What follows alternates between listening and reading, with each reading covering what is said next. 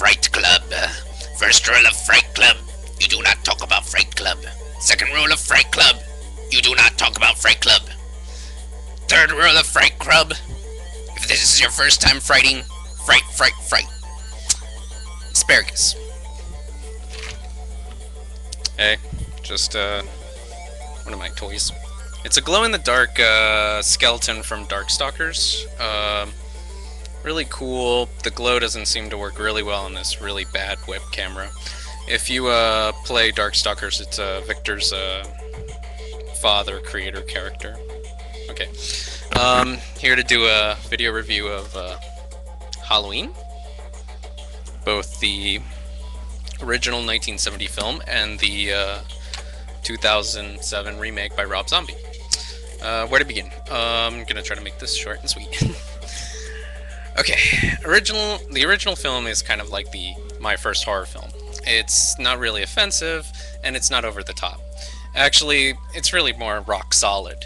It's um, as much as the 80s were going into this supernatural aspect where monsters like Child's Play or Shocker or uh, just some pretty bland generic well not bland generic but they just went more into like the vi- more into the visual style halloween is more rock solid. It's more this grounded in reality.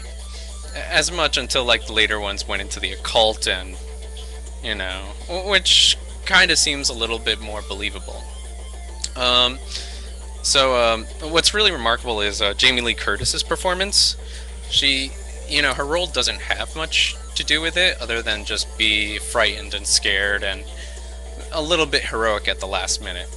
Um, but still, she adds a little bit more to her performance in her reaction to her friends and how she how she performs. She, she's really good. She's remarkably good. I mean, like personally for me, I, I prefer comedies like Trading Places or you know some of her classic films where she takes her top off. Uh, but but still, it's really iconic her performance, and it pretty much set the standard towards these virginal characters. Um, uh, there's no real one scene that I personally love. I think like the movie as a whole is such a experience. It's a movie kind of like a bar mitzvah of a film. It, it's like you're you have to experience it.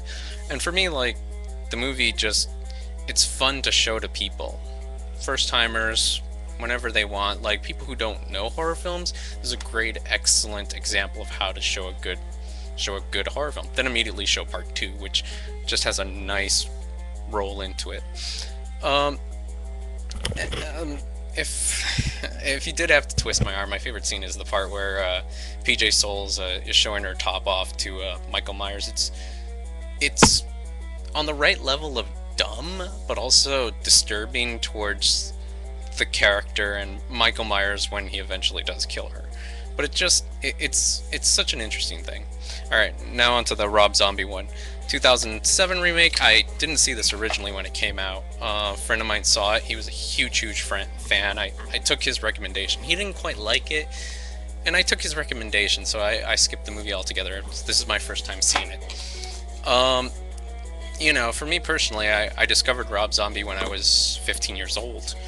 Uh, it was during the release of More Human Than Human music video on MTV, and I, and I liked it. I liked it a lot. Um, friends told me that he was an artist, and I got to see his work, and I didn't like it. I, I thought it was pretty bad.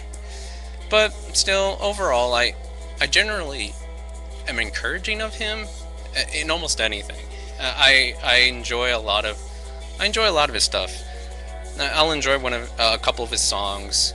I don't love him like a lot of friends, a lot of my friends do, but there's something about his enthusiasm that's honest. You know, he he's a nerd just like everyone else. I remember a friend of mine went to see one of his concerts, and he forgot the lyrics to his song, and he just started chanting, "Evil Dead, Evil Dead, Evil Dead," and the crowd went nuts.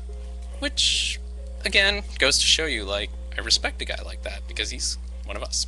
All right, onto the movie. First, I'm just gonna get onto the bad, just Let's just pull off this band-aid. Um, the acting's really bad.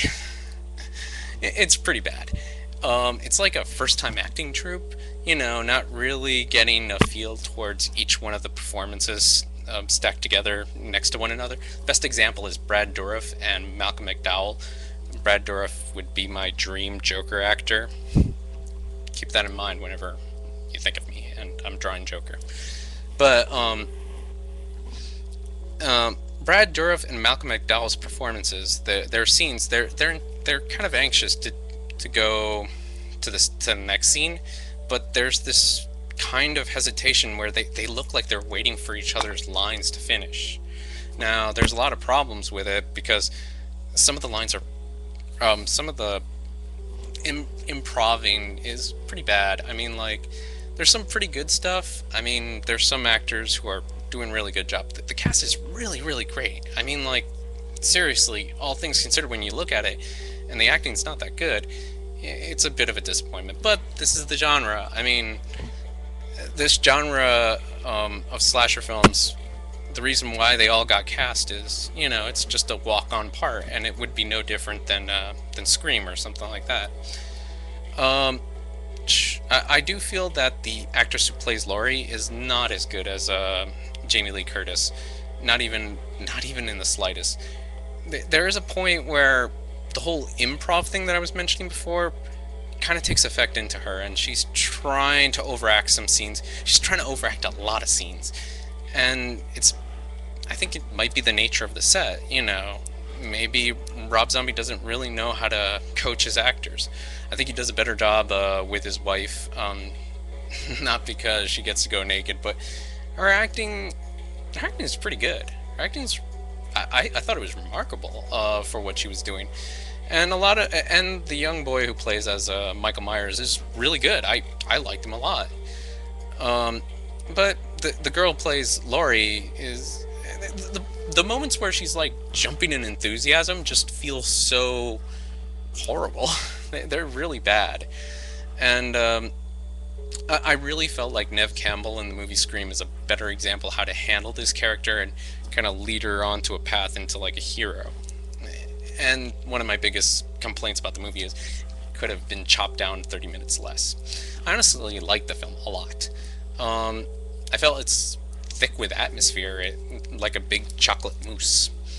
Uh, the music selection is really, really enjoyable. Especially my favorite part is the part where uh, they play the song "Love Hurts" when Michael Myers uh, gets rejected by his sister to take him out trick or treating.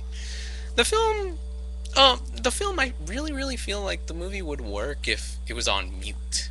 The whole, uh, I mean, the dialogue was on mute, and you had that music playing. It's it's pretty good. I thought it was good. Now the thing is, it's not blasphemous to make a remake of this film. I really feel like the Halloween franchise has been burnt, and they poured salt on its remains.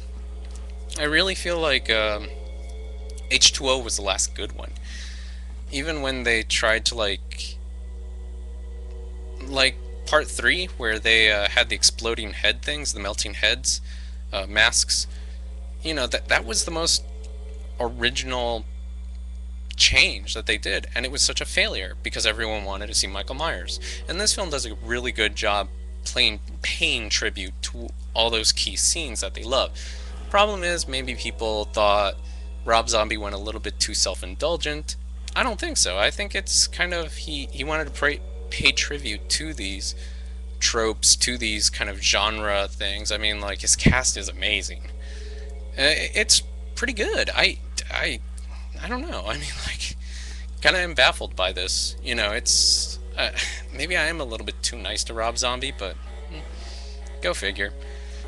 All right, but um, all right, that that's really what I have to say about the movie.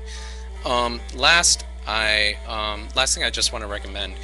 Um, if you like this style, like this whole remake, kind of like eh, former style, I really re- uh, recommend you to see 2009's House of the Devil.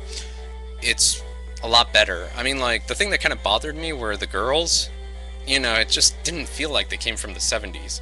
And if you see like House House of the Devil, you you see like these women look like they're from the 70s. They, they really look like they're from the 70s. I don't know how they did it. They, they look like they they would go to act on Suspiria next or Phantom of Paradise. You know, it's it's not a great film, but it, it has that style if you like it.